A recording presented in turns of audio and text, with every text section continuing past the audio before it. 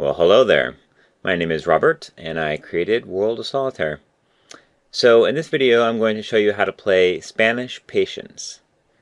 If you want to watch this video while playing the game, you can just simply come up to the top right corner and click on the blue question mark.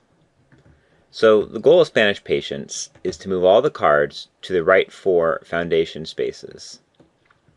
Now each one of these foundation spaces starts with an ace, and then you add cards on top of it in ascending order, but you don't have to follow suit. So for example, I can take this ace and put it on any of these four spaces. Now the next card I need on top of the ace is a 2, and I can use any 2 I want, so I can take the 2 of hearts, for example. Next card I need is a 3, so I'll put the 3 on there. And here's another ace here, so I can put that ace here. And so on and so forth.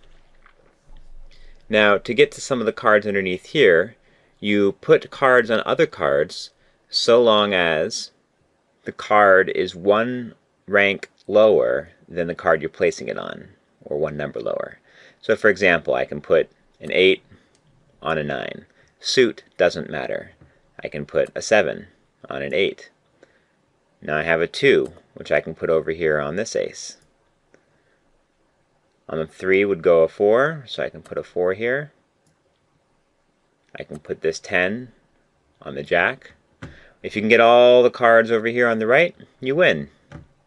Well, I hope this video was useful, and I hope you have lots of fun playing. Bye.